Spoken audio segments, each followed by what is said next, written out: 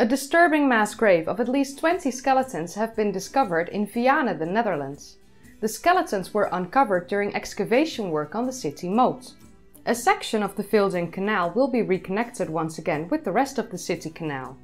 But of course, work on the canal has now come to a standstill awaiting excavations.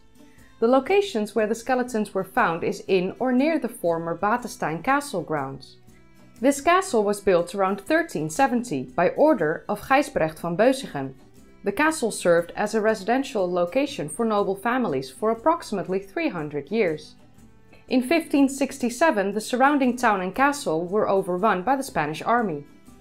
More than a century later, in 1696, fireworks sparked a large fire inside the castle's walls, and due to financial problems it was never rebuilt.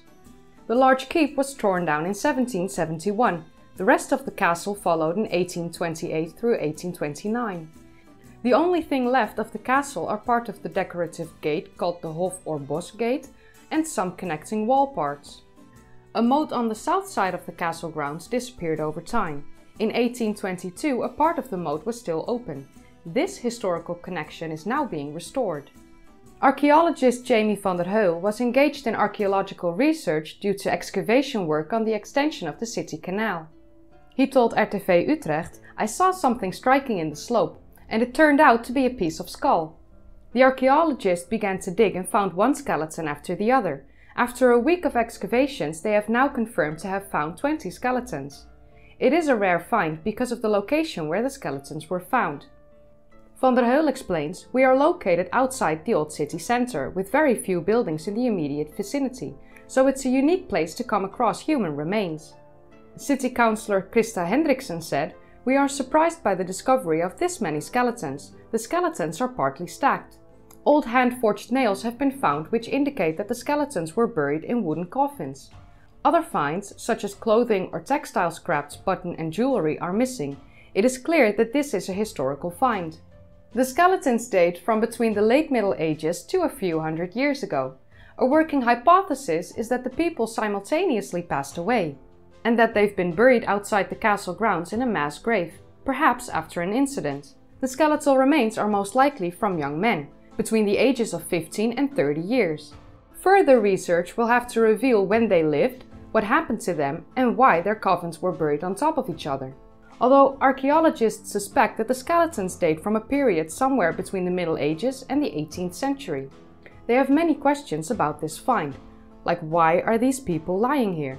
What caused them to die? Could it be related to historical events? For example, something could have happened in the Eighty Years' War, with many casualties happening at the same time. I realize that not many people outside of mainland Europe are familiar with the Eighty Years' War, also known as the Dutch War of Independence.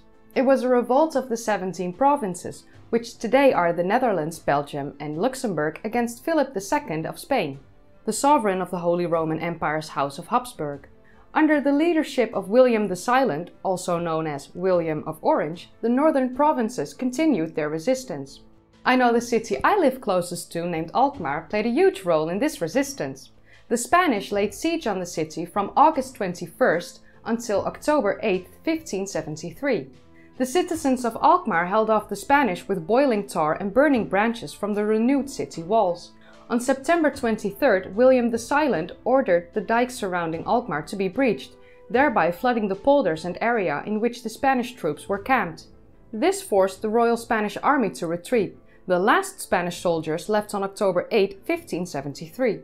In 1581, the Act of Abjuration, or in Dutch Plakkaat van Verlatingen, was drafted and signed. This was the declaration of independence by the Dutch Republic, and so the Republic of the Seven United Netherlands was established. The Republic was recognized by Spain around 1608 at the start of the Twelve Years' Truce.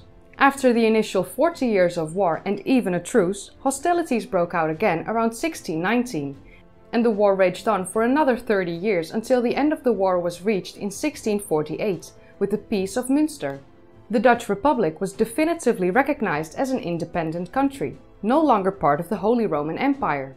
Now that I've quickly explained the Eighty Years' War, we will return to the recent findings. It shows a new piece of history to Vianen, says van der Heul. The fact that this many people are buried here, that until a week ago was completely unknown, is a piece of unwritten history. By examining it now, we can tell what happened on a page in history. A find of this magnitude is rare in the Netherlands. They found at least 20 skeletons, and there's no doubt there are more skeletons waiting to be found. The size of the site is not yet known at this time, so they are investigating an even larger area to try and find out the size and scale of the excavations. Van der Heul said, with this many skeletons found, we can now speak of a mass grave. The bones near the water are now collected and then sent to a specialist for further examination. They will then end up in an archaeological depot. Currently the site is being secured, Van der Heul explained. Otherwise we will soon have bodies without skulls and that would be a shame, because grave robbers are always everywhere. When new information gets announced, I will make a follow-up video, but for now this is all the information I could gather. If you enjoyed watching, then don't forget to give it a thumbs up. Subscribe if you'd like to see more of these kind of videos and click the bell icon for notifications every time I upload. If you haven't seen my previous videos yet, then click the card in the upper right corner or click the link in the description down below. I also want to thank my Patreons, Richard, Barry and NGC6543. And for now, thanks for watching and I'll see you in the next one.